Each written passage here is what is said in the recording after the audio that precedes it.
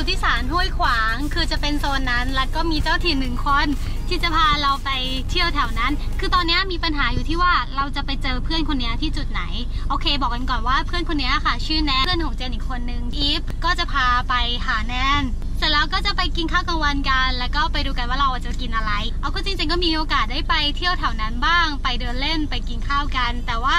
ไม่เคยไปร้านที่เพื่อนบอกเลย ร้านที่จะไปกันเนี่ยก็เป็นร้านดังในย่านนั้น ที่คนเจ้าถิ่นเองยังอยากที่จะพาเราไปกินกันเลย ไปดูกันว่าของกินวันนี้จะน่ากินแค่ไหนแล้วก็รสชาติเป็นยังไง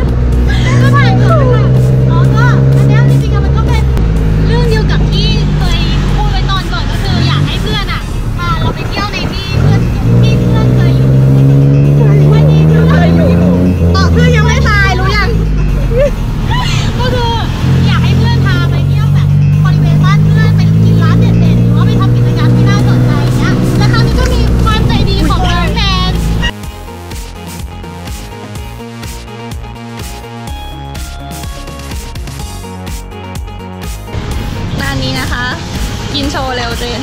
มามาคือกูเป็นคนของถิ่นไงกินแล้วก็จะแบบว่า อาจจะแบบเฮ้ยเข้าข้างหรือเปล่า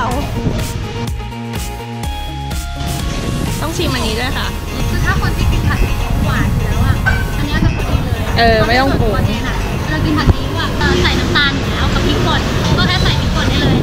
จิ้มเนาะเหมือนที่แนนบอกก็คือมันหอมกระทะเน้นมากอันนี้คือแบบมันหอมกระทะจริงๆอะ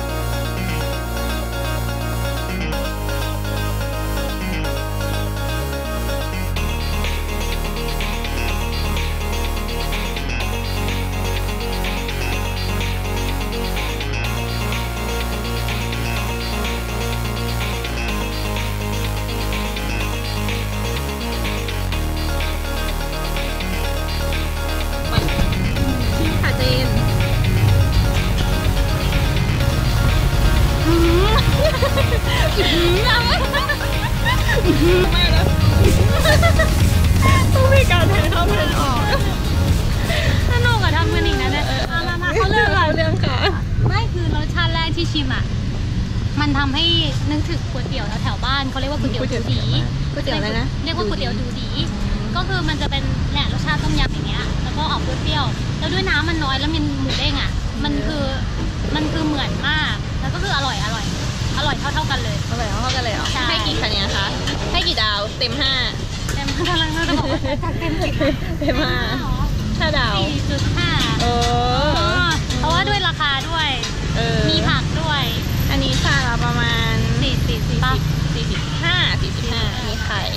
ว่าคุ้มค่ามีผักไข่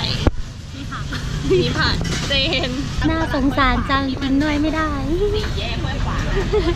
ทำหน้าตาหน้าสงสารแล้วไปทำหน้าตาหน้าสงสารเลยแล้วหนึ่งสองสามก๋วยเตี๋ยวต้มยำโบราณสูตรนครปฐมก๋วยเตี๋ยวต้มยำโบราณสูตรนครปฐมก๋วยเตี๋ยวต้มยำโบราณสูตรนครปฐมที่ไม่ได้กินอันนั้นสนามกีฬา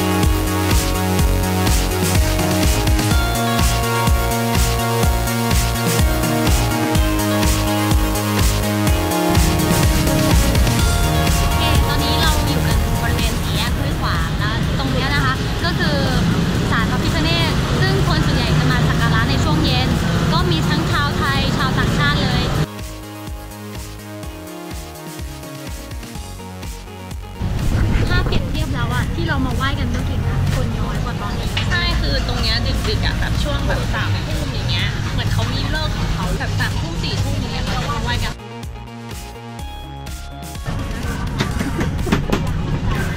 อะไรนะแนนผมมาถึงแล้วก่อน